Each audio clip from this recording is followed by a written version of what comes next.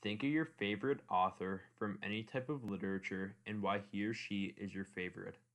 Whether it's Stephen King for his thrilling storytelling, J.K. Rowling for her creative figurative language, or Ray Bradbury for his brilliant symbolism, your author choice most likely derives from their literary style. An author's style may comprise of a variety of literary devices in order to allow their work to have a distinct feel. Flannery O'Connor, a well known and reputable author, is best known for her Southern Gothic style. This style of literature features flawed characters who are put into sinister situations. O'Connor's writing often explores religion and morality and features the two aspects conflicting in a horrific way. These aspects apply directly to O'Connor's Wise Blood novel and its protagonist and plot. Through Wise Blood's unusual facets, such as its characters, mood, and symbols, O'Connor presents her literary style to her readers.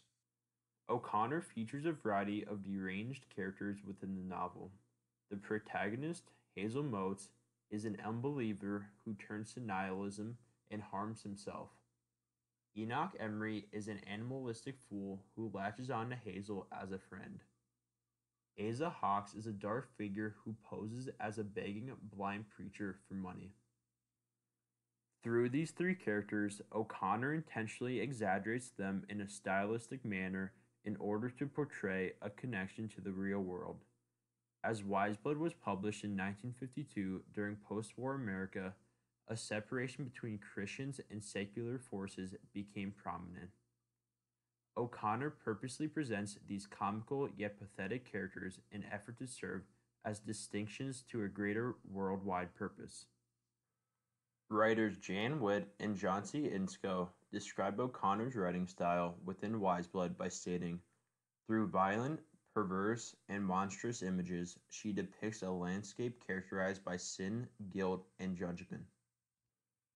As mood describes how readers are made to feel, the novel grotesquely features disturbing text to make the reader feel disturbed themselves. A writer by the name of Lewis A. Lawson describes O'Connor's unconventional ways of dealing with fiction by stating that she was uninterested in the felicities of conventional fiction and felt completely free to use absurdity, paradox, and illogicality.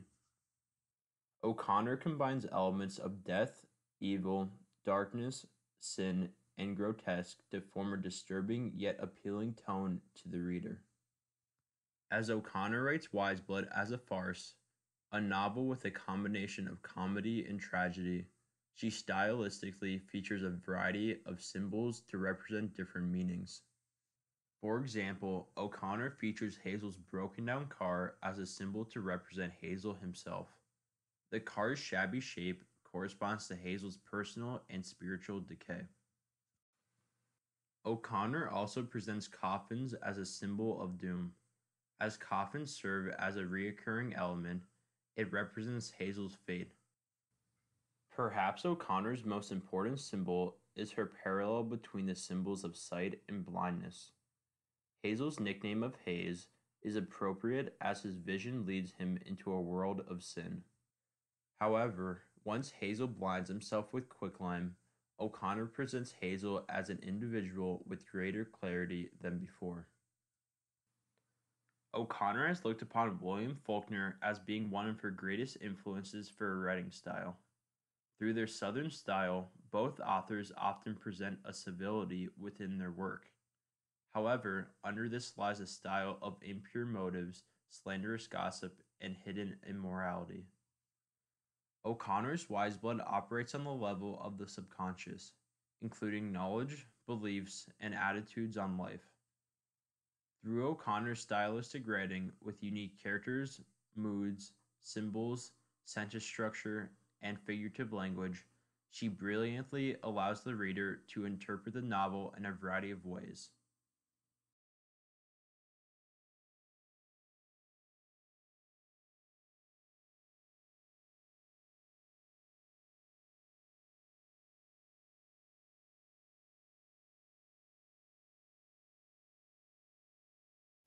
Created using Powtoon.